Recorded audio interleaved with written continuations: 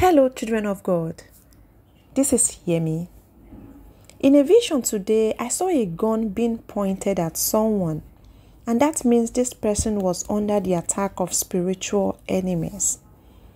As I was praying against what I saw, I saw another vision. It was like a continuation of the first vision, but this time it wasn't just one attacker, there were others. It was like an army of people on an invasion mission. As I came out of this vision, the Holy Spirit gave me two scriptures Isaiah 8 and 10 and Isaiah 7 and 7.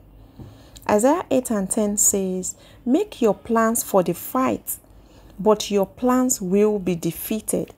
Give orders to your armies, but your orders will be useless. This is because God is with us. Isaiah 7 and 7 says, But this is what the sovereign Lord says this invasion will never happen, it will never take place. And that is God's word for you today. Do not fear the plans of the enemies because the Lord is fighting your battles. For who can speak and have it happen if the Lord has not decreed it? Praise God. Today, I pray against all enemies' activities that are being done in secret and in open, which are designed to harm and destroy you.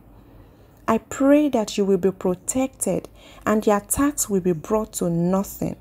They will be frustrated and their hands will achieve no success in your life and family. In Jesus' name. God bless you.